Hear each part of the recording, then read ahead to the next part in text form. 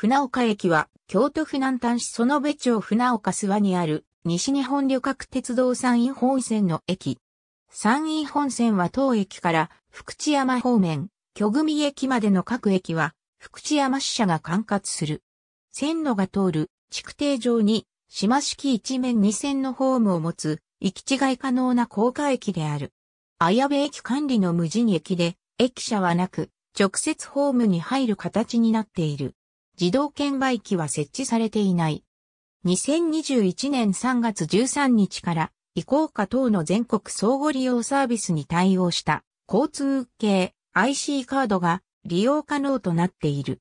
また、当駅をはじめこれより下り方の電化区間では、普通列車しか停車しない駅の大半で4両分しかホームのかさ上げが行われていない。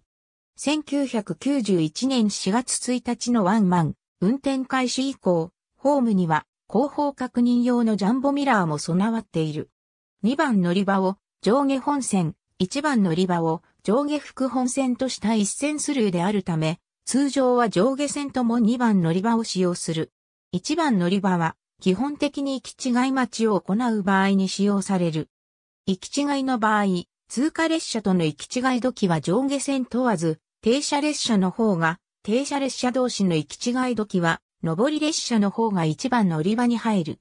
1日の平均乗車人員は以下の通りである。1日の平均乗降人員は以下の通りである。ありがとうございます。